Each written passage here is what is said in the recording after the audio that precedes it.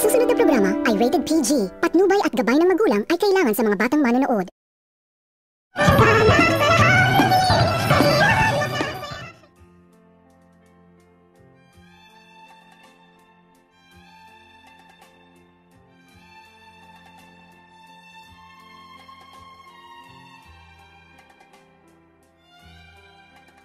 Pagkatapos nitong makita ni Annalyn itong si Morgana ay dito hindi nito pinaniniwalaan ni Annalyn ang mga sinasabi ni Madam Chantal dahil malakas ang kutob ni Annalyn na hindi umano ito si Morgana dahil si Moira umano ito at pati ang kanyang boses kung kaya't kailangan umano nitong gumawa ng paraan ni Annalyn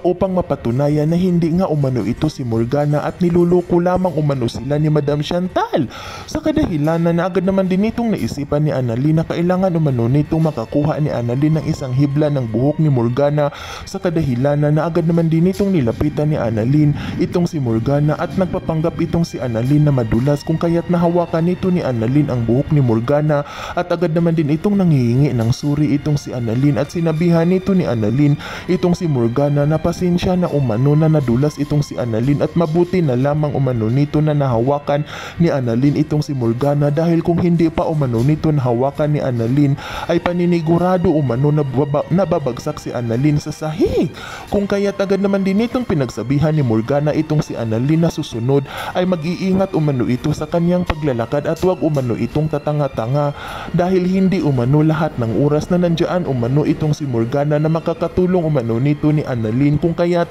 agad naman din itong pinasasalamatan ni Annalyn itong si Morgana at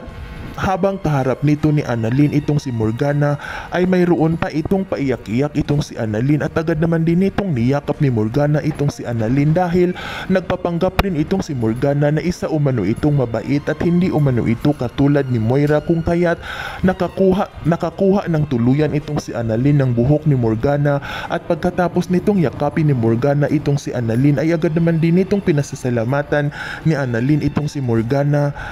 at sinabihan nito ni Annalyn na mabuti umano at isa umano itong mabait at hindi umano ito katulad ni Moira na isa umano itong matapang at kakaiba umano ang ugali nito. Ngunit sa kaloob-looban nito ni Annalyn ay agad naman din itong nagsalita itong si Annalyn na hindi umano ito naniniwala na hindi umano si Moira itong si Morgana at ngayon ngayon na nakakuha na umano ng buhok itong si Annalyn ay malalaman na rin umano nito ni Annalyn ang katotohanan kung sino nga ba umano itong si Morgana kung tama ba umano ang hinala ni Annalyn na siya si Moira. Yan ay ating aabangan sa susunod pa na pangyayari sa kaganapang ito ng abot kamay na pangarap. Huwag mong kalimutang isubscribe at i-hit ang notification bell ng aking channel.